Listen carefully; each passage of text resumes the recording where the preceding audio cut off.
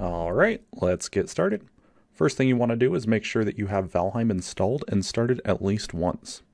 Next, you want to go ahead and launch your favorite web browser and go to this website. I'll have the link down below in the description for this. And let's click on manual download. Once that's done, go ahead and open it up here. And we're going to create a file on our desktop. And we're just going to extract all of the documents into that file. You can name this file whatever you want to. As soon as that's done, let's go ahead and open up this file and we'll start the setup and go through the process.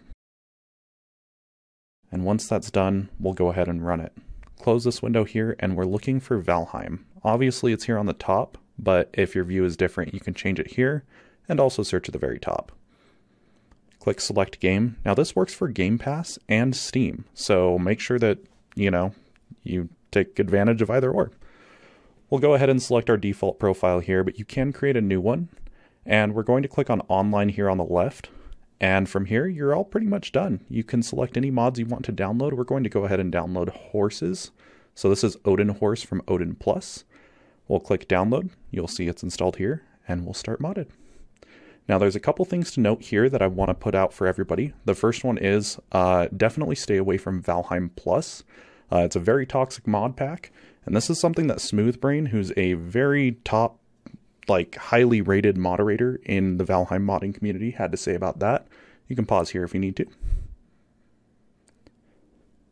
There are also some mods to help your FPS with your frame rate too. So when you're in the online tab, you can just go ahead and search FPS and check out some of those mods there. Uh, a lot of them seem to help me a lot. I currently run a private Valheim server, it's a player driven community aimed towards players who want to see all of what Valheim has to offer. For more information and to become a beta tester down below, you can visit our Discord link. I also want to go ahead and thank you all so much for watching. Be sure to visit my channel and subscribe for more tutorials that are like this, and I will see you guys in the next video. Take care.